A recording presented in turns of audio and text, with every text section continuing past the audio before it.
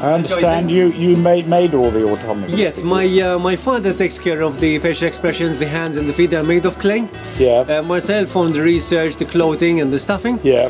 The uh, the third guy takes care of the accessories, and Yeah. the fourth guy takes care of the mechanical side. Yeah. So uh, there's a lot of teamwork involved. Yeah, amazing.